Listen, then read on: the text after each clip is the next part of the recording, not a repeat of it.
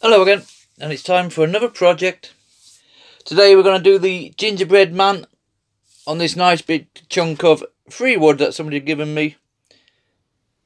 It's going to be 11 inches by 7 inches, and the idea is we're going to cut all the way around it first, but leave it in its surround. That'll just make it easier when we come to the routing side of things. For cutting out, I'm going to use these Pegas 5 spiral blades they're ideal. They'll cut in any direction, so there's no, not too much messing about with the wood and stuff. And then once it's cut all the way around, like I say, we'll leave it inside the wood. And then we'll use these CNC bits. They do come with a small shaft, same size as a Dremel. So you will need a collet. That's a 65 millimeter collet and a 3.175 shaft will fit into that like so and now you can pop that in your router. And we'll set it to a depth two or three mil and literally go around all this all these. Once we go around the CNC bit we'll then put on a mill end bit or end milling bits whichever you want to call them. These come in various sizes. All these are all available on eBay or Amazon. We'll put one of them into the same collet. So remove that one place that one in like so and then we'll use that to remove all the surrounding areas just so those buttons and the belt and his little socks I don't know what they are to be honest and the repair to his legs they all stand up same as the face. And then we'll do a general sanding down round it off a little bit at the edges and then we'll put on some put on some nice paint just to make it stand out a bit. Okay we'll get our spiral blade into the scroll saw and we'll start cutting this one out. I will drill a pilot hole in first. Normally I would just come in from the side and start cutting, but I just want to keep this in one piece. So I'll drill a little hole in just to feed the blade through. And then we'll go around this one and then that's a, that's it for the scroll saw. And it's all router work after that. Let's cut it out now. Before we've done any of those, we obviously have to transfer this onto the wood. I always use carbon paper Something simple like this takes two minutes to draw around. That way you can use that template over and over again. No problem. So we've drawn around it. We've got our image on there.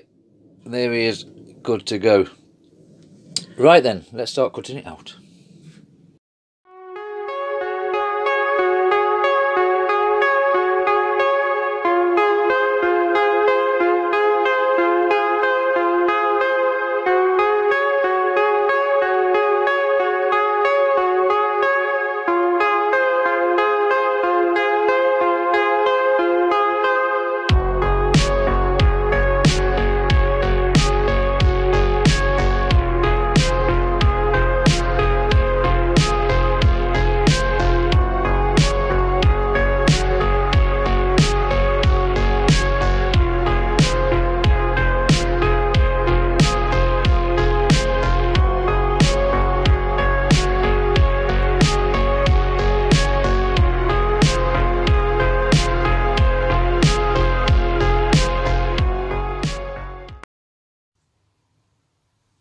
Right, we've gone all the way around that with our Pegasus number 5 spiral blade.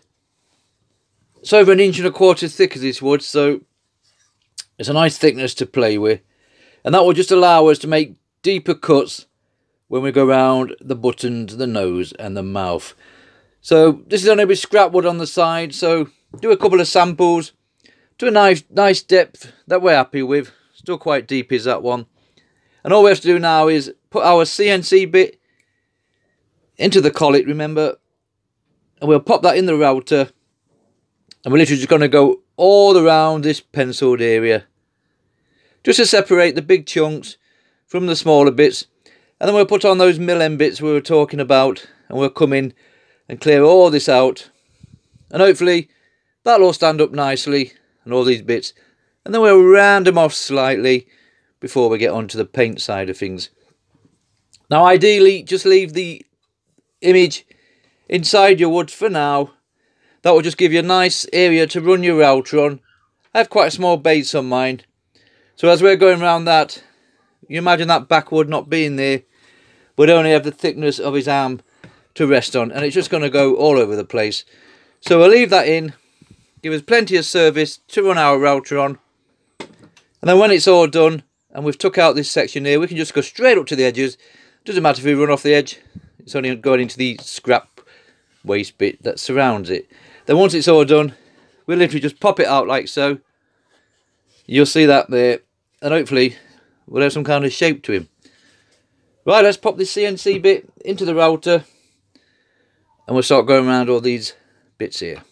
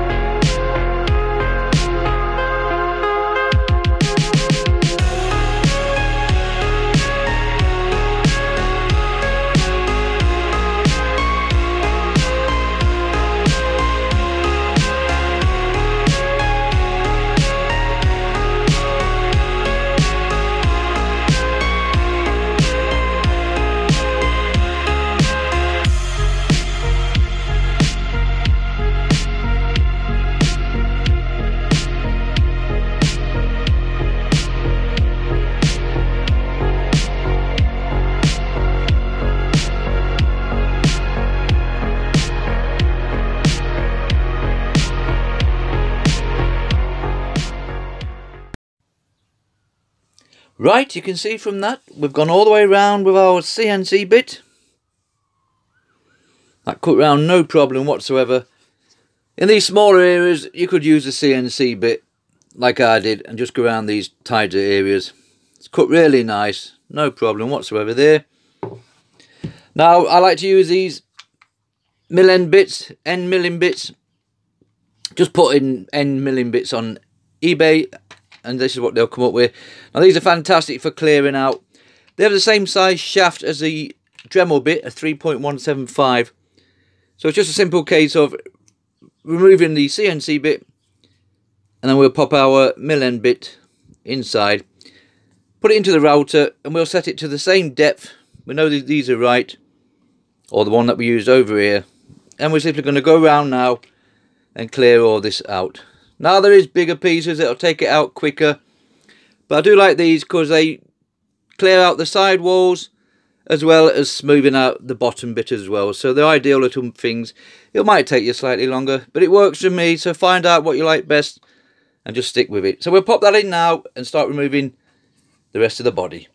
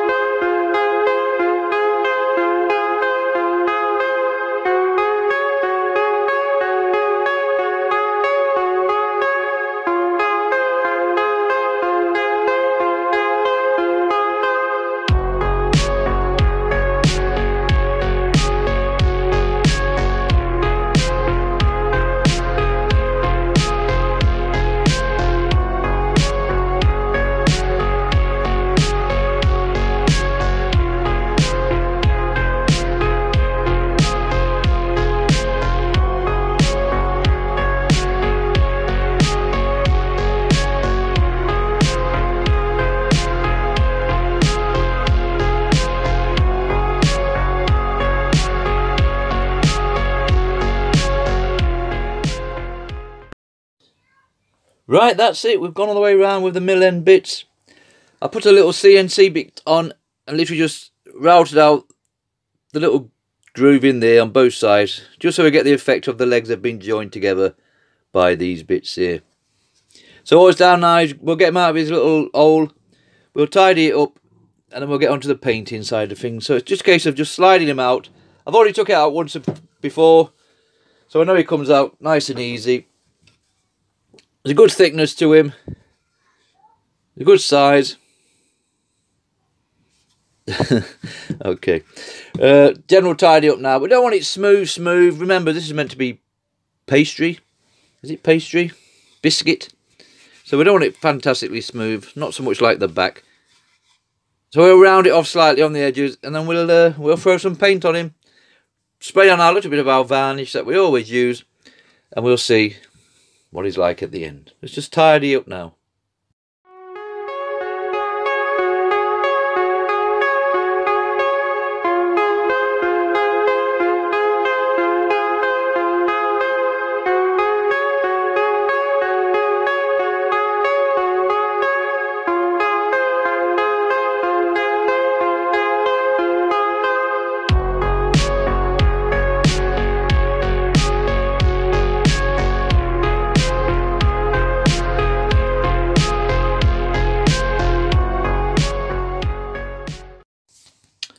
Right, that's enough sanding down for me. I went over with any old bits of paper that we can find.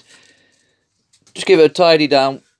Like I said previously, I don't want it smooth, smooth, because it's going to have to be a biscuit base, so we want some kind of little rough and tumbles in it, no problem whatsoever. Now, obviously, we need to darken this down a little bit, so it looks like it's been baked. So I'm just going to put linseed oil on for now, boiled linseed oil just to see if it will darken it down a little bit. And once it's dry, if it's not up to what we need, we'll mix some kind of stainer up just to get this background darkened down a bit. So boil linseed for now. I'm just going to throw this on on it all, all the sides, basically coat the whole lot, and just see if it darkens it down any. It might not be too fantastic, but if it doesn't work, then we'll try something else. Right, you can see from that, that boiled linseed oil darkened it down a little bit. It's not too brilliant, it's actually darker on the back, but that's because we've not uh, touched that. We obviously sanded down the front bit, and we're trying to darken down bare wood. But uh, looks more like a shortbread biscuit than a gingerbread biscuit. But we'll leave it at that for now. We're going to get some painting done now, just acrylic paints, just for the whites, and his little purple buttons and the nose and uh, the mouth and stuff. So we'll paint this now and then we'll come back when we're ready to spray on our bit of varnish. Once the paint is on, I'll see what that background's like, the body wise. And if it's not dark enough, I've just some watered down acrylic, very light darky brown colour, and we'll just paint the whole lot. Just so it's a bit more gingerbready and not so much shortbready. Okay, let's throw some paint on now.